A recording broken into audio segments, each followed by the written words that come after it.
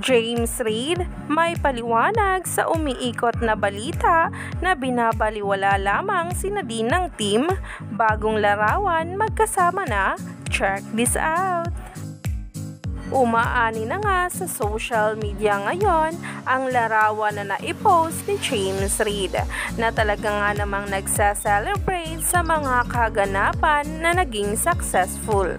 Mga achievement na kung saan ay pinaghirapan niya ng team.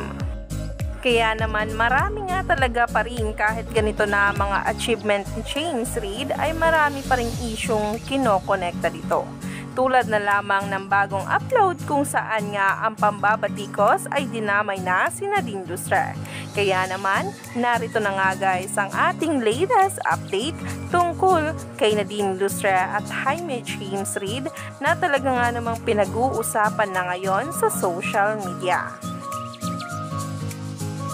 kung saan ang litratong ito ay talagang nag-viral. Ito nga guys ang pagsa-celebrate ng team kung saan matapos nga ang kanilang Bacardo session at mga ginawa din kung saan napansin nga rin kung bakit sa lahat ng larawan ay wala si Nadine. Marami nga nagsasabi na para bang binabaliwala na nga lang daw si Nadine ng team. Sa likod nga din ng mga achievement nito ay talagang hindi nga raw karapat dapat.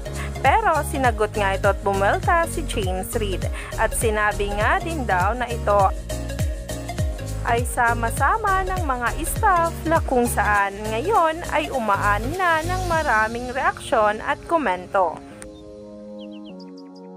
Talaga nga namang ang pagbueltang ito ni Jaime James Reid ay talagang pinag-usapan ng maraming netizens. Sabi nga ng ilan, ganun talaga dahil artist si Nadine na nga agad ng maraming komento sa social media.